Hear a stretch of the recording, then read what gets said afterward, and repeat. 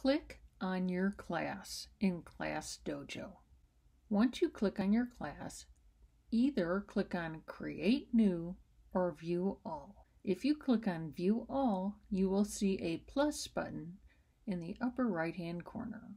Then select either journal, photo, video, or drawing. Once you have made your selection, click on the arrow to submit. After you have submitted, you will find everything that is completed or to do in this page.